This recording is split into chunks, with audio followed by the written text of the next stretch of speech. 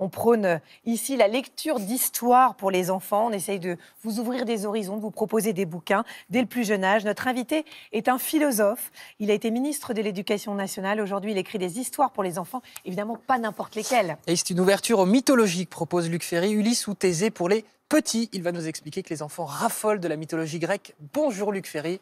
Bonjour jeunes gens. Bienvenue dans, famille. bienvenue dans la maison.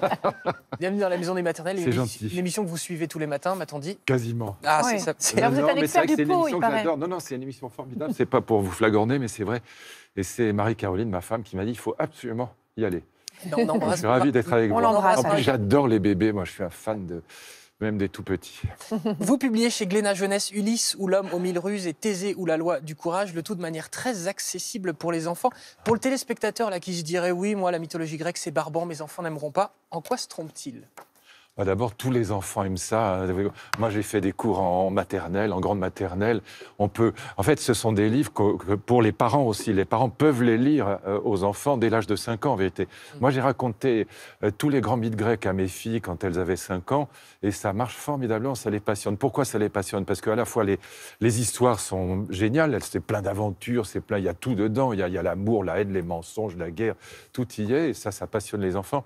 Mais aussi, il y a, il y a un message de fond qui est extrêmement profond, un peu comme dans les évangiles ou dans la Bible. hein. C'est pas pour rien que ça marche depuis 3000 ans Un dans tous les sur pays le, du le monde. sens de la vie, ce qui passionne Oui, les petits d'ailleurs. Exactement. Même En avant fait, 5 le- ans, même des 2-3 ans, ils commencent à Oui, poser ils des commencent questions. à s'y intéresser. Et moi, quand, quand je m'occupais des programmes scolaires, j'ai mis euh, un enseignement obligatoire de la mythologie grecque et des grandes religions en sixième et en, et en seconde.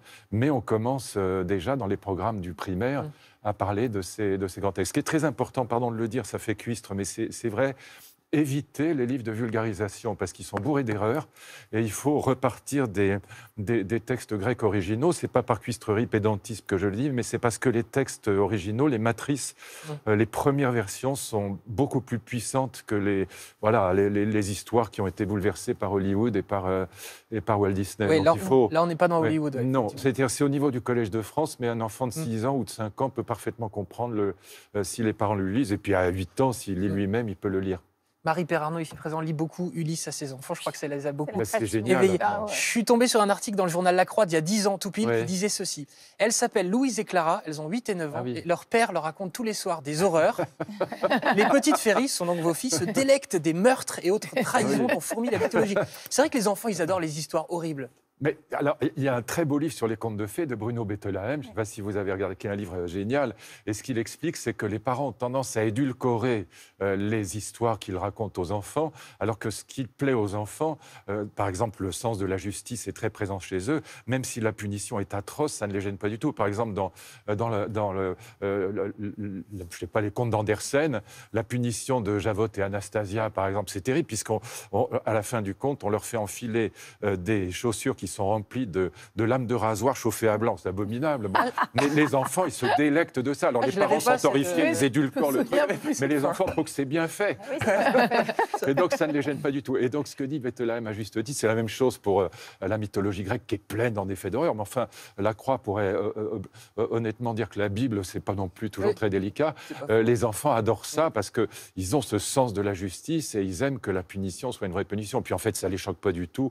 Et, et- et ils aiment que euh, les choses euh, soient dites parce que ça les décharge eux-mêmes euh, de ce qu'ils ont en eux. Euh, Ça les décharge de voir que ça peut se trouver dans des livres, dans des histoires et que les parents sont pas en train de, de hurler quand il se passe quelque chose d'un peu atroce. Et surtout, Ulysse, quand on le raconte à un enfant, Ulysse, c'est Spider-Man en beaucoup plus fort. Ah ben, Il est plus malin en plus. Ah ben, il est vraiment génial, mais, mais c'est pas toujours un type euh, adorable, hein, Ah parce qu'il il, Mais il peut tricher, il peut mentir. sombre. Mais enfin, c'est. En fait, bon, si on veut raconter le fil conducteur en, Oui. en deux secondes, c'est une quête de la vie bonne, parce que c'est pour un mortel, c'est quelqu'un qui sait qu'il va mourir. Il va aller de la guerre à la paix, du lex- du- de l'exil au retour à la maison, de la haine à l'amour, euh, de la guerre, euh, donc, comme je disais tout à l'heure, qui est le chaos à l'harmonie retrouvée dans les bras de Pénélope. Et donc, c'est l'histoire d'une quête de la vie bonne qui va durer 20 ans et qui va passer par toutes sortes de- d'épisodes plus ou moins terrifiants, plus ou moins abominables, plus ou moins aussi amoureux et délicieux. Et donc, c'est vraiment une traversée dans la vie humaine de quelqu'un qui, encore une fois, cherche la vie bonne. Et il va trouver la vie bonne Mm. parce qu'il va vaincre les peurs. Donc, pour les enfants, c'est très, très important cette idée qu'on peut parvenir à vaincre la peur. Parce que euh, les enfants, il faut quand même bien voir qu'ils sont tout petits, euh, par définition. Nous, on est des- d'énormes adultes par rapport à eux. Tout dépend pour eux des grandes personnes, puisque si on leur donnait pas à manger, ils mourraient, si on leur donnait pas à boire, ils mourraient, etc. Donc on est quand même des personnages assez terrifiants pour eux. Et donc une des grandes questions de l'enfance, c'est vaincre les peurs. Et l'histoire du lys, c'est l'histoire de quelqu'un qui va réussir Ouais. à vaincre la peur, la peur de la guerre, la peur de la mort, et qui va accepter la vie humaine. Donc je ne veux pas raconter plus longtemps, mais pour les enfants, c'est quelque chose d'extrêmement rassurant. Mm. En plus, c'est très cultivant. Avant, c'était réservé aux bourgeois, aux bourgeois distingués. C'est aussi pour ça que j'ai Oui. fait ça. Ça Et là, pas du tout, c'est tout. très accessible, je pense que c'est Oui, important. toutes les classes sociales. C'est aussi une égalisation des conditions parce que c'est une culture qui est la plus, euh, comment dire, la plus cultivante, si Bien je peux. Mm. Parce qu'il y a 120 expressions en français Oui. courant qui viennent de la mythologie grecque et souvent, enfin, la plupart du temps, pour ne pas dire toujours, on n'en connaît pas l'origine.